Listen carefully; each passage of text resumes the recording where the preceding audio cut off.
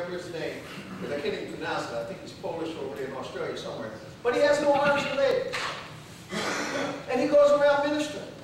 And he crawls. And he and he does rap with his, he calls his little duck foot. Because he got a little tail that he beats his little drum beat with. And he's just rejoicing. And he lives on his own. Can you imagine somebody driving a car with no arms, no legs? Cook their own meals. And they were showing how he did. He used every other part of his body to clean himself, cook, drive, and everything. And here we are with legs and arms. And I was like, boy, do I got a reason to rejoice. But he believes that God made him that way for his glory. Aren't you made for his glory too? Amen. Then rejoice so. I don't care if somebody call you ugly, call you this and that. You ain't my type. You too big, you too skinny.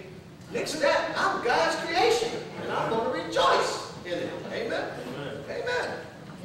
Amen. Joy is the fruit of a right relationship with the God. Joy is a fruit of right relationship with God. It is not something people can create by their own efforts. Can you create joy by your own efforts? Because I'm going to show you what happens in the Bible if you try to create joy on your own effort. Because we've been living in a false joy. Ready? Even in laughter, the heart is sorrowful. You know how you just put on airs, you don't want nobody to know your business? And so you smile and you laugh with them and actually deep down inside, you heard me? But you may have riches, you may have things, but there ain't no happiness or joy in you at all. You thought all those things were going to make you happy. Matter of fact, I didn't really get no joy until I lost everything. And I was one of those of people that said, boy, I would never go homeless. I'd kill myself before I go home.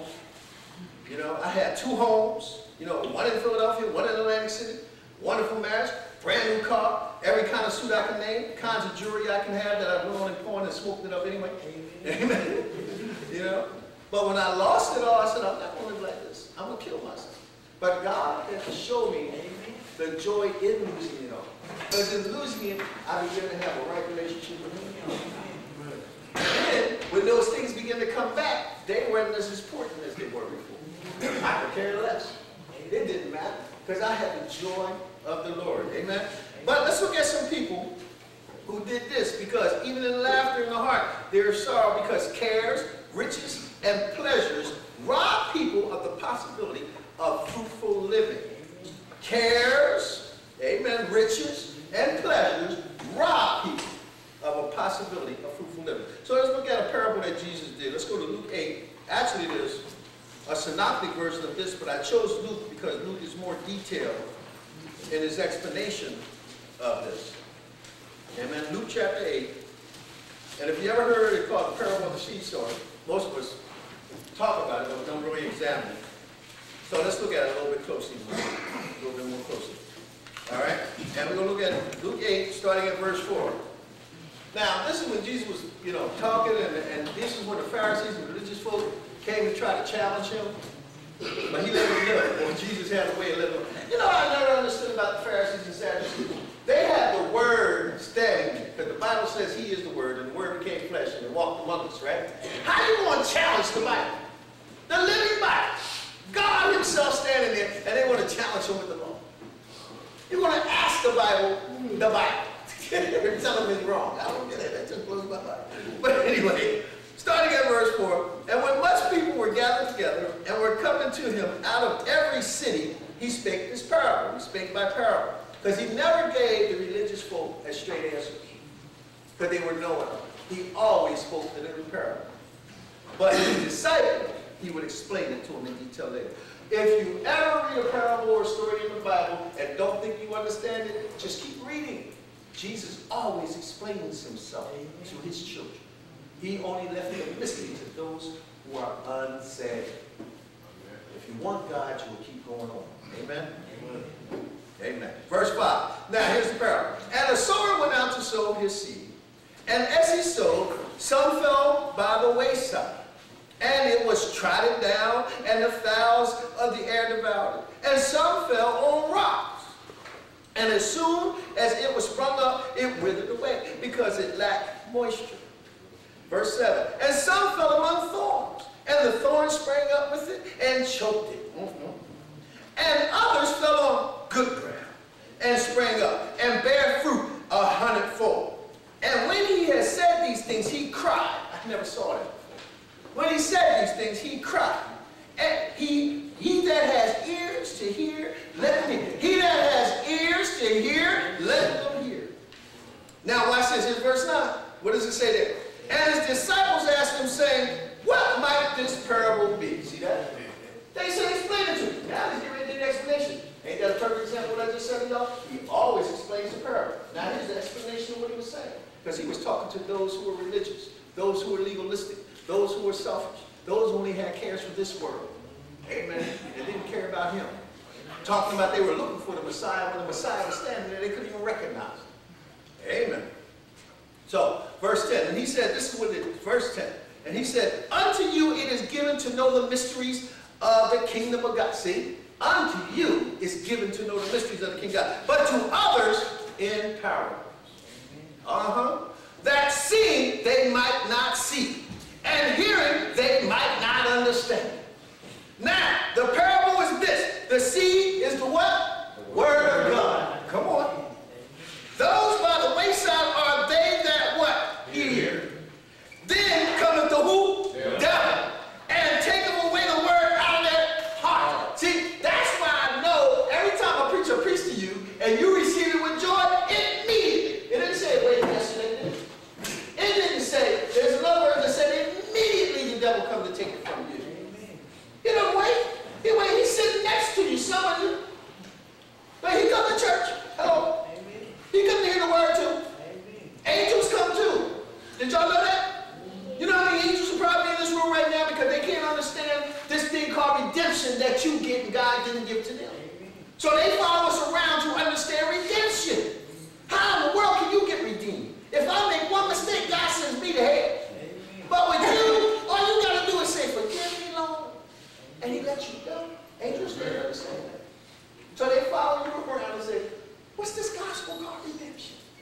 We don't get it, but you do. Amen. Let's keep going. That was a little side sidetrack there. Verse 12. Um, Those by the wayside are they that hear, then cometh the devil, and taketh away the word out of their hearts, lest they should believe and be what? Saved. Keep going. Verse 13. They on the rock are they which, when they hear, receive the word with what? Joy. And that's what we're talking about. And these have no root, which for a while believe, and in time of temptation, do what? Fall away. Soon as something else come up, you don't want it. You're running away. Because, see, I'm laughing because I had to live this thing. See, this is telling you that when God is telling you to change your life, you don't want it. Every time he tells you it's time to change your life, you don't want it. So you fall away. You believed it, you received it with joy. Y'all come in here every day, every day, day after day, and receive the word with joy. Plenty of teachers come through here. You receive it with joy. Then you go right back out there and live the same way. Did you really receive it with joy? Because when the time of testing or temptation comes, you can't handle it. I want to go back to the way I was living. I enjoyed that more. I'd rather wake up with a hangover. I'd rather wake up in the gutter. I done seen people who come to this place and leave after they received it with joy. Then my question is this, because I can't judge your heart. Were you really here for that purpose? Or did you have an ulterior motive? But God is not going to be mocked. I've also seen them come through here and die. Amen. Amen. Amen. Let's keep going on. See, I don't want none of you to quit, man. when you receive word with joy, don't quit. Because now the devil is turning up the fire because he knows you received it with joy. He hates anybody with joy. He wants to put you through this thing. He wants to cause you to quit. Don't quit. Still keep dancing with joy that you got this thing. Amen. Verse 14. And that which fell among thorns are they which, when they heard, have heard, go forth and are choked with what? Cares and riches and pleasures of this life, and bring no fruit to maturity. That word perfection is maturity. So now you got it. You done got it with joy. Now God is blessing you. He's giving you all these things, restoring you. And I see that happen here. People get jobs. They forget who helped them. I know when I first came through here and I got a job, the first thing I did was give money to this ministry. Amen. And I still give money to this ministry. You know why? Because this was the house that fed me. And I'm not just talking about with food, they spiritually fed me too. You shouldn't be giving money no place unless they're feeding you spiritually and naturally. Why do you think pastors always say, well, why are you sending my money over there to so Joe, Joe Blow's church and you're getting fed here? Amen. Amen. Then if you want to get fed at Joe Blow's church, that's where you should be getting fed. So if you, wherever you sow your money, it should be at the place you're getting fed. Amen. Amen. Because this house does not push giving to you. They believe in giving you more. This is a Presbyterian house. And I've never seen people give so much in all my life. I'm used to hearing people being condemned for not giving. You know what I mean? Don't condemn me if I don't give. You know what I mean? because God said I want to have a cheerful giver. I'd rather have a cheerful giver. But I don't sit up here and say, well, the Lord told me time you don't give, you're going to be cursed. I'm not going to tell you that. Matter of fact, I never believed that. Became homeless. You ain't to make me feel guilty, and I still saw God moving in my life. And I didn't give him a dime. But he still fed me, covered me, and gave to me. And I didn't give a tithe, an offering, or nothing. But he was showing me, you do those things out of your heart for your love for me. Amen. Amen. You want to give to me because you love me. Because outside of that, I don't. I'll keep giving to you. Amen. That was a sidetrack again. Lord, what are you doing? Amen. Amen. Let's keep reading verse 15. Now, but that on the good ground are they which in an honesty and good heart, having heard the word, they obey it. The word keep it means they obeyed it. And bring forth what? Fruit with what? Patience. So if you're going to do anything for the Lord, do it out of obedience and do it because you love him. And when you're doing that, you're going to get joy for doing it. Amen? You're going to have a joyful heart. So, as we saw, the cares and riches this world is usually the things that drag you back out. Start loving Jesus. Start getting the joy in Jesus. Stop worrying about your condition right now. He got you in this particular place so that he can mature you, so that you can help someone else. And if you stop complaining, because God hates murmuring and complaining. I mean, that, that's nastiness to it. Amen? Let him mature you and work this thing out. And don't be in such a hurry. Believe me. Believe me. It took me 15 years to get where I'm at today, and I'm still growing. I'm not stopping. I'm still growing. Each time I think I reached a plateau, God lets me know, no, now you're going to have to fight this kind of battle. Then I get enough. No, now you're going to fight. I'll be thinking it's over. It ain't over till you bring me home. You Might as well get used to it. It ain't going to be over till you go home to be with the Lord, all right? All right, let's look at this one now. What is peace of God? Good, we got about 20 more minutes. What is peace of God? A sense of well-being and fulfillment that comes from God and is dependent on His presence. You only get peace when you are depending on God and His presence. Do anybody know or ever felt the presence of God in life? Amen. You just know it's, it's just abnormal. And sometimes you can't even explain it. It's just so, ooh, because you never, ooh, the peace of God is awesome, isn't it? For those of you who know and felt what it is. Amen. Such peace is a fruit of the Spirit that forms part of the whole armor of God. That's a part of the armor of God. Enabling Christians to withstand the attacks of the forces of evil. So, did you know peace was a weapon? I don't know if some of you have been here when I taught on special ops, obey, pray, submit. But I showed you that one of those weapons was the peace of God. If you have no peace in you, you're constantly fighting. And you, most of the time, you're fighting yourself. That's where the no peace comes from. You blame the people and the family members and the, the co-workers and friends for bringing that disruption in your life when it's actually you fighting them. Because you don't have to accept nothing they say or do. Only, only accept the correction of God. Amen. Now God does use men and women of God to tell you and warn you, call prophets, to say stop doing what you're doing. And if there is a discomfort in there, every time I get discomforted, I always go to God and say, what am I doing wrong, Lord? Because I know it's something wrong. You know? Even when I have an argument with, with, with family members, because everybody, you know, your loved ones, hey, we fight.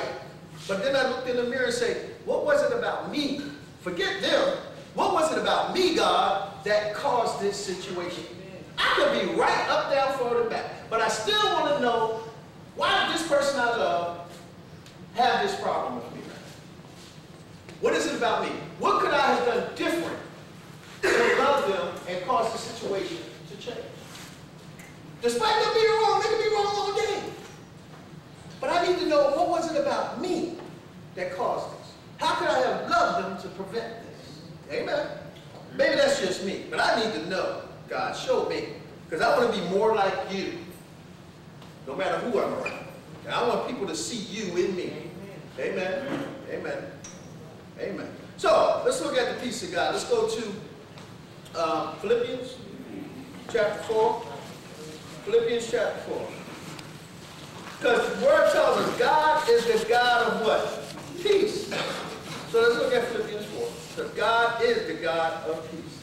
Now next week we're going to be looking at long suffering, goodness, and gentleness. Boy, I'm already studying it it beat me. Woo! Can't wait to bring that one. I can't wait to bring that one. So uh, Philippians chapter 4, verse 8 through 9.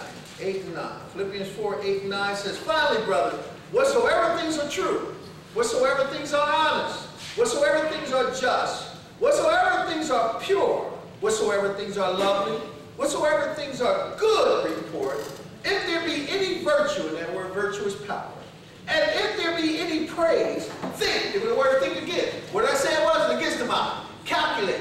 Think on these things. Calculate them. Now, it's something you can't. Calculate them. Calculate on these things. Take an inventory of your goodness. Amen. Of your honesty. Amen. Of your pureness. Now you can calculate, but don't calculate evil. Why would you want to calculate evil when you can calculate good? Amen? Because those are the rewards you're going to get in heaven. God's going to look at you and say, you didn't do X, Y, Z. Matter of fact, let's open the books to see if your name is in there. Is Joe Blow name in here? Okay. Oh, Joe Blow did this, Joe Blow did that. Oh, wow, Joe Blow, well done, that good and faithful servant. Enter into thy rest. But if you look up here and say, Joe Blow did this and Joe Blow did that, but Joe Blow's motive was evil. Depart from me, I never knew you. But Lord, I did feed the home. Depart from me, I never knew you. But Lord, I did get it. Depart from me, I never knew you. But Lord, I did help. No, depart from me, I never knew you. Because I know the intent of your heart, there was no love in it. Amen. There was no joy in it. Amen. And you didn't cause no peace. Amen. Because you calculated it. Amen. Amen. Boy, I can hear a pin dropping here. Amen. Ah, hey, believe me, beat up the speaker first. All right, the gospel is the good news of peace. Let's look at that. Let's go to Ephesians chapter 6. So we know God is the God of peace, right? Oh, wait a minute. Before we go, we need to read verse 9. I'm sorry. Go back to Philippians 4, verse 9. Those things which you have heard, both learned and received, and heard, and seen in me, and seen in me, rather, do. For the God of what? Peace shall be with you. Amen. I need you to see that he was the God of peace. I'm just moving a little quickly. Uh, so, all right, now we're going to look at the gospel is the good news of peace. So let's go to Ephesians, the book right behind it. Ephesians chapter 6. And I look at verse 15. Ephesians chapter 6, verse 15. And your feet shroud with the preparation of the what? Gospel of peace. Now, that whole thing from verses 13 on down is actually, actually the uh, armors of God. Amen? Matter of fact, let's take a look at it. Let's go up to verse 13. Wherefore, take unto you the whole armor of what? God. That you may be able to withstand in the what? Evil day. And having done all to stand, stand therefore, having your loins girt about with truth. Now, that's the Bible. Having your loins girt about with truth is the Bible. They call it the belt of truth. It's the word gymnasis or logos, the written word. Amen? So most people will call the sword of the Spirit the Bible. Taking the sword of the Spirit, which is the word of God. That's not the Bible. I'm going to prove it. Amen? Here we go. Verse 15 again. No, go back to 14. Stand therefore, having your loins girded about with truth, and having on the what? Breastplate of righteousness. And your feet shroud with the what? Preparation of the gospel of peace. Verse 16. And above all, take the shield of faith, wherewith you shall be able to quench the fiery darts of the wicked, and take the helmet of salvation and the sword of the Spirit, which is the word of God. See that? Now, that word of God there is called the rhema word. It's the Greek word rhema, and it means give him a specific word. And where does that specific word come from, people? Your mouth. But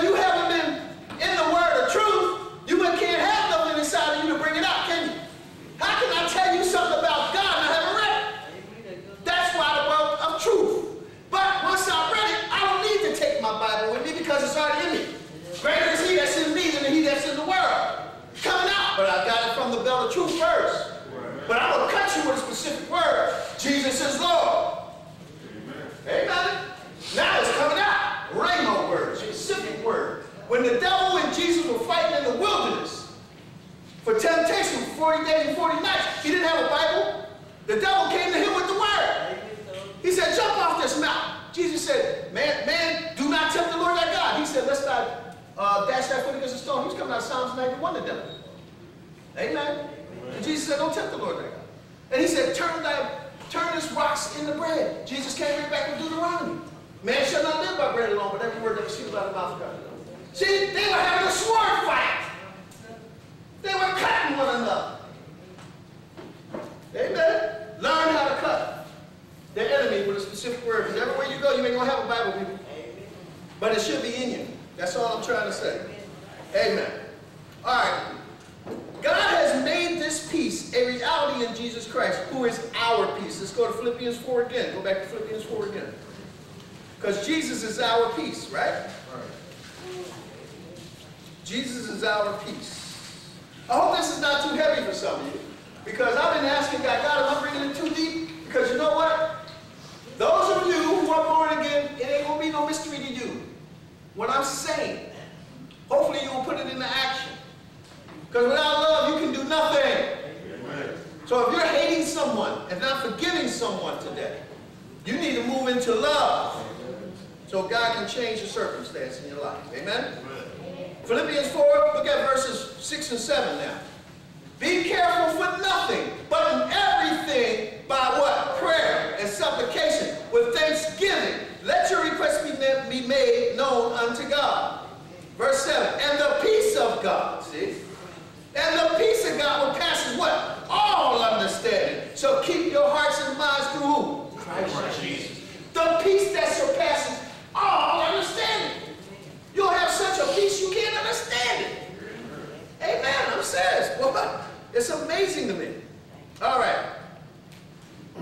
Now, another thing we're going to look at here. In Jesus, we discovered the ultimate peace which only God can give. Go to John 14. In Jesus, we discovered we discover the ultimate peace which only God can give. John 14. We get ready to come to the close. One more little story, and we'll be done. John 14. And looking at verse 27. 14, 27. It says what? Peace I leave with you. My peace I give unto you. Not as the world gives, I give I unto you. Let not your heart be troubled, neither let it be afraid. But peace I give unto you. Amen. Now, I want to show you how Jesus used that peace as a weapon. And maybe you will too. Are y'all ready to see how Jesus used peace as a weapon? That's Cool. And how this peace that surpasses all understanding, you can start putting it in your life. Now, I'm getting chills just thinking about it the way I was studying this thing. I'm telling you, those who want it, grab it. So let's go um, to Mark chapter 4. We're going to look at, Jesus gave us an example on how to get peace during a storm. So we're going to show you how you can get peace during a storm. I'm excited about this because I'm putting it into practice. Amen. So let's go to Mark 4. Going to close out this. Amen. Mark chapter 4. It might be a familiar story, but God was showing me some things, and he even took me back to when my bishop, uh, Jimmy Ellis back in Philadelphia, had taught this, and I didn't get it back then. But when I restudied it, I got it now. Amen? Amen. Amen. I ain't dead yet. as long as I can keep on learning, we're going to ever be learning. All right. So we're going to look at Mark chapter 4, starting at verse 35. Ready? And the same day, when the eve was come, he said unto them, Let us pass over unto the other side. Now he had just got finished preaching. You know, there was thousands of people, and he got a word from God to just say, Let us go to the other side. Amen. Verse 36. And when they had sent away the multitude, see, they told everybody to go away. When they sent away the multitude, they took him even as he was in a ship, and there were also with them other little ships.